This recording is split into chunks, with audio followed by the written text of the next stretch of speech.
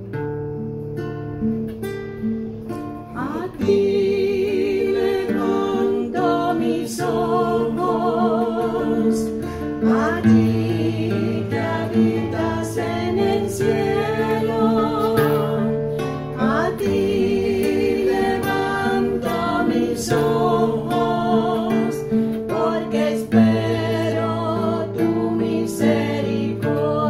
Lunes de la segunda semana de Cuaresma.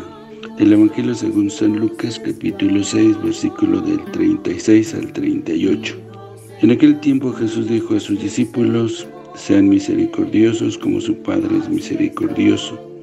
No juzguen y no serán juzgados. No condenen y no serán condenados. Perdonen y serán perdonados. Den y se les dará. Recibirán una medida buena, bien sacudida, apretada y rebosante en los pliegos de su túnica, porque con la misma medida con que midan serán medidos. Palabra del Señor. Gloria a ti, Señor Jesús. En el Sermón del Llano Jesús invita a imitar a Dios, interpretando esta santidad divina como su misericordia. Sean misericordiosos como su Padre es misericordioso. Nuestro pasaje forma parte de la segunda parte del discurso del llano, orientada a todo el pueblo. Primero Jesús invita a ser misericordioso como el Padre es misericordioso. Esta es la experiencia que Él tiene de su Padre, lleno de ternura, de amor, sin límites. Ser misericordioso es compartir las penas de los demás, es ser indulgente, es participar de las tribulaciones de los hermanos, olvidar las injurias, es ser sensible, no guardar rencor, tener buen corazón. Nuestra vida cristiana se caracteriza por ser una imitación de Dios. Jesús mismo era un, una perfecta imagen de Dios, que modelaba su comportamiento según el del Padre.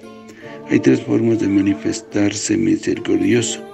En el no juzgar, reconociéndonos incapaces de realizar un juicio auténticamente justo. En el perdonar, y en el dar sin medida. Cuando sintamos el impulso de juzgar o de condenar, miremos un poco en nuestro interior y descubriremos que no somos mejores que los demás y que a pesar de esto Dios nos ama, nos muestra su misericordia. ¿De veras tenemos un corazón compasivo? ¿Cuántas ocasiones tenemos para mostrarnos tolerantes, para saber olvidar, para no juzgar ni condenar? Para no guardar rencor, para ser generosos como Dios lo ha sido con nosotros. Ahí tenemos un buen examen de conciencia para ponernos en línea con el camino de Dios y con el estilo de Jesús. Tendríamos que terminar la cuaresma con mejor corazón, con mayor capacidad de perdón y tolerancia. En la Eucaristía se nos actualiza y se nos da ese amor Participar en este sacramento es aceptarlo y comprometernos a amar con Él. Que el Señor los bendiga. Esperando su misericordia,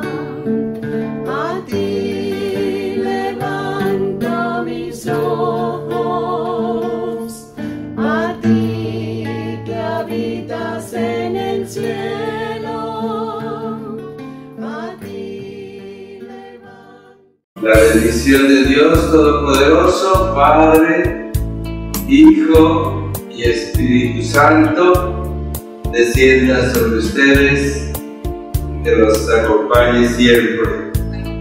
Que el Señor los bendiga.